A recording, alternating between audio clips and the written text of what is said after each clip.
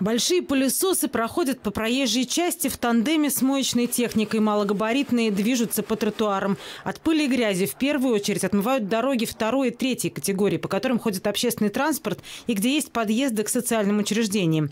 В этот вторник в Самаре в рамках месячника по благоустройству привели в порядок Красноармейскую, Агибалово и ряд других магистралей.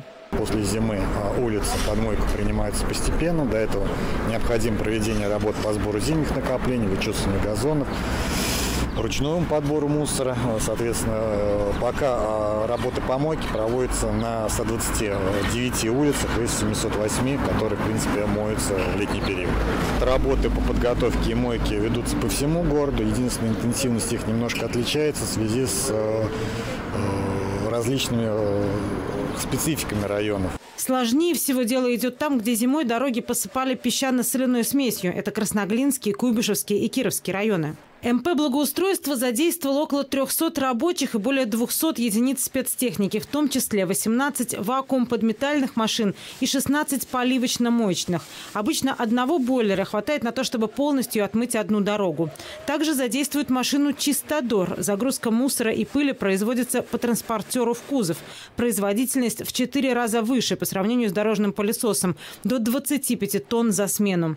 По мере подготовки остальных дорог к мойке количество специальных специальной техники готовы увеличить. Резерв имеется. Мы работаем и днем, и ночью. У нас и днем, и ночью ходит техника. И полевмочные, и пылесосы. Убираются зимние накопления э, вручную, механизированно. Зимние накопления убираются. И после этого только моют дороги. Трудности только из-за припаркованных машин. Из-за припаркованных машин даже вручную в некоторые места трудно убирать. Поэтому основной объем работы выполняется в ночную смену. Так и трафик не перегружается, поскольку моечные машины следуют со скоростью не более 12 км в час. Пылесосы вдвое медленнее. Аналогичные работы будут регулярно вестись в теплое время года, особенно после дождей. Пыль и частицы грунта с газонов попадают в ливневки и скапливаются вдоль бордюров.